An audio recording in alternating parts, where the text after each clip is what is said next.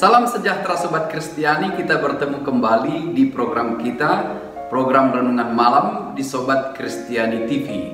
Dan pada malam hari ini, renungan kita dari firman Tuhan, yaitu dari Injil Matius, pasal 11, ayat 20 sampai dengan ayat 24, demikian dituliskan. Yesus mengecam beberapa kota.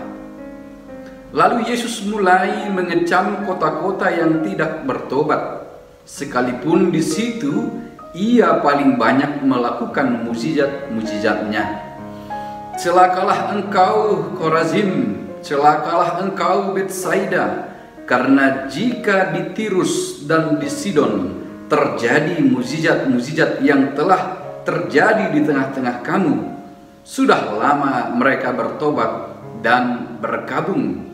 Tetapi aku berkata kepadamu, pada hari penghakiman, tanggungan Tirus dan Sidon akan lebih ringan daripada tanggunganmu.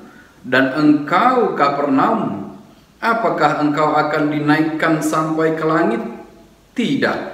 Engkau akan diturunkan sampai ke dunia orang mati karena jika di Sodom terjadi mujizat-mujizat yang telah terjadi di tengah-tengah kamu, kota itu tentu masih berdiri sampai hari ini.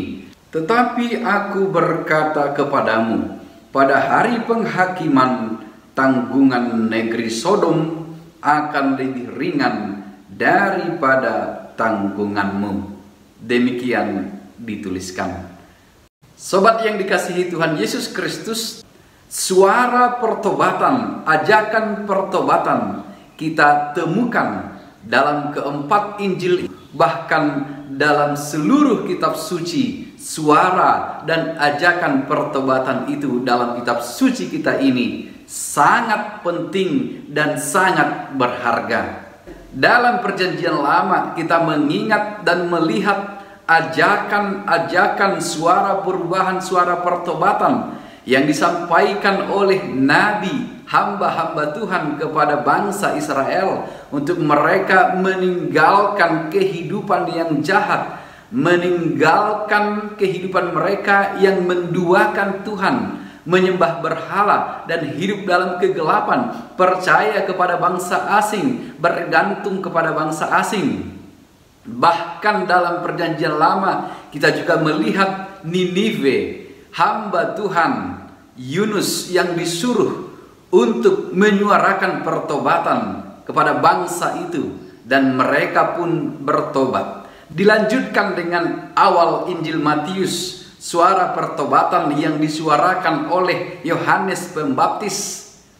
Sama seperti juga suara pertobatan yang disuarakan oleh Elia pembaharuan untuk kembali kepada Tuhan. Kita juga mengingat perumpamaan dalam Injil Matius. Sang gembala yang meninggalkan 99 dombanya yang telah aman untuk mencari satu yang hilang, yang tersesat. Betapa berharganya pertobatan itu. Orang berdosa dihargai oleh Tuhan kita Yesus Kristus dan dikasihi dan disayangi dan menuntun mereka pada pertobatan, pada perubahan. Keajaiban-keajaiban yang dikerjakan Tuhan kita Yesus Kristus, tanda-tanda mukjizat, semua juga menuntun pada perubahan, semua juga mengarahkan dan menuntun pada pertobatan. Tetapi selalu ada saja yang mengeraskan hatinya, tetapi selalu ada saja yang menolak untuk bertobat. Tuhan Yesus Kristus mengingatkan mereka dan menegur mereka termasuk dalam teks kita ini. Kota-kota yang tidak bertobat sekalipun mereka telah melihat tanda-tanda keajaiban. Bahkan Tuhan Yesus mengatakan Sodom dan Gomora pun akan bertobat jika mereka melihat tanda-tanda keajaiban seperti yang dilihat oleh kota-kota yang disebutkan dalam teks kita ini. Tetapi mereka mengeraskan hatinya, mereka menolak untuk bertobat sekalipun mereka telah melihat. Walau tidak dengan sepenuh hati, hamba Tuhan Yunus, Nabi Yunus memperingatkan Ninive. Ia sempat menolak tetapi ia disuruh dan diutus kembali dan ia memberitakan suara pertobatan dan bangsa itu pun bertobat dan diselamatkan. Tetapi kita selalu menyaksikan orang-orang yang selalu mengeraskan hati menolak untuk bertobat. Dan ajakan dari teks ini kepada kita, ajakan dari renungan ini kepada kita pada malam hari ini. Mari kita selalu peka Mari kita selalu mendengarkan dan mau menuruti ajakan suara perubahan, suara pertobatan. Sebab jika tidak, pada akhirnya semuanya akan dihukum. Hanya perubahan saja, hanya pertobatan saja yang melepaskan kita dari penghakiman akhir tersebut.